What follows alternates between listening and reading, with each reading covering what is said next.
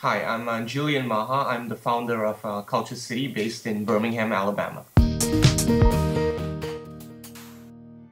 KultureCity is a nonprofit dedicated to creating a better future for all individuals with autism and their families. It is important right now because when you look at autism, the rates are rising significantly and the community has not really tackled this headlong. So we hope to basically address this by helping them realize these individuals can contribute to society, but they need to be included.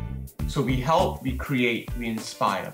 We help with our philanthropic efforts with toys, iPads, weighted blankets, uh, and also organizing community events that integrate these families and individuals back into the community. We're also about to launch a LifeBOKS program, which is a kit to help these children from wandering away and getting into accidents. We create by helping promote job creation for families of children with special needs and also jobs that are designed specifically to hire individuals with special needs.